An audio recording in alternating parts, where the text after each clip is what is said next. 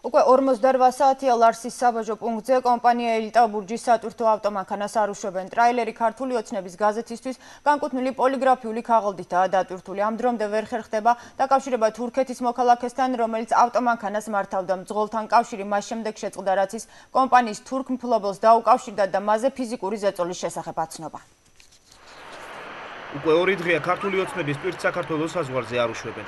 ტრაილერი, რომელიც ამ დრომდე ნეიტრალურ ტერიტორიაზეა გაჩერებული, ქართული ოცნების გაზეთისთვის განკუთვნილი პოლიგრაფიული ქაღალდითაა დატვირთული.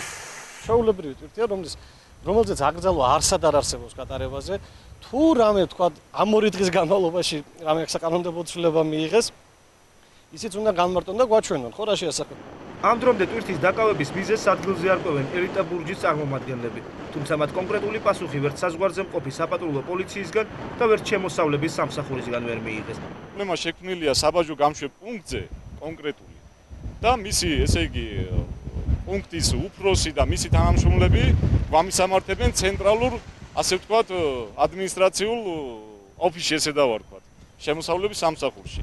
სატვირთო ავტომანქანა თურქული კომპანიის საკუთრებაა და მას თურქეთის მოქალაქე მართავს. რამდენიმე საათის წინ ძღოლი თურქ მფლობელებს დაუკავშირდა და მასზე ფიზიკური ზეწოლის შესახებ აცნობა. ის შემდეგაც მასთან დაკავშირება ვეღარ ხერხდება. ამერიკა სატრანსპორტო კომპანიის წარმომადგენელმა, რომელმაც რომელიც ურეკავს ამ ტრაილერის ძღოლს თურქს, ის თურქი იყო შემოსული ჩვენს საბაჟო კონტროლის ზონაში. და გააბრუნეს როიტყვიან ციხლის კვრი და ცემატყებით იარაღის მუქარით.